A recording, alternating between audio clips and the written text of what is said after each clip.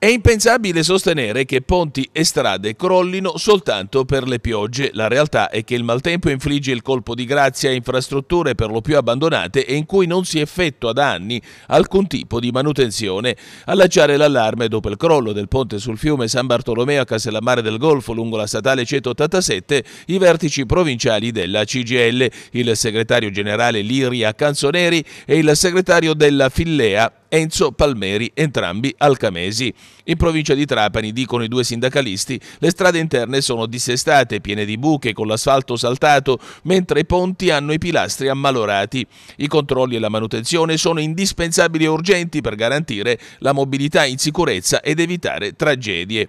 Dopo il cedimento del costone del litorale di Pizzolungo che sostiene la strada provinciale Trapani-Bonagia e il crollo del ponte sul fiume San Bartolomeo al confine fra Castellammare ed Alcamo Marina, eventi che si aggiungono ai crolli e agli smottamenti degli scorsi anni, la CGL invita gli organi competenti ai controlli, si legge nella nota del sindacato, sia per l'alto ponte di accesso nella cittadina castellammarese dalla bratella autostradale, ma anche per la statale 188 che da Marsala conduce fino all'Ercara Friddi Verdi chiuse in più tratti dallo scorso novembre per cedimento e frana al costone roccioso. Per questo CGL e Fillea hanno già chiesto un incontro in prefettura con i rappresentanti dell'ANAS, del Libero Consorzio Comunale, l'ex provincia regionale e con tutti gli organi competenti. Intanto domani alle 18.30 si terrà una seduta consigliare congiunta dei consessi civici di Alcamo e Castellammare del Golfo. I lavori, alla presenza dei deputati del territorio, si svolgeranno presso l'aula consigliare di Palazzo Crocifero Luciferi nella cittadina castellammarese. Sabato mattina eh, ho ricevuto una chiamata dal Presidente del Consiglio Comunale di Castellammare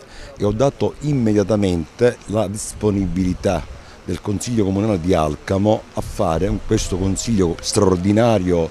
insieme al Comune di Castellammare per andare proprio a, sottoscrivere un documento quantomeno di unità e quei due comuni eh, ci abbracciamo, ci abbracciamo perché è indispensabile praticamente questo abbraccio per i due comuni Alcamo-Castellammare perché hanno situazioni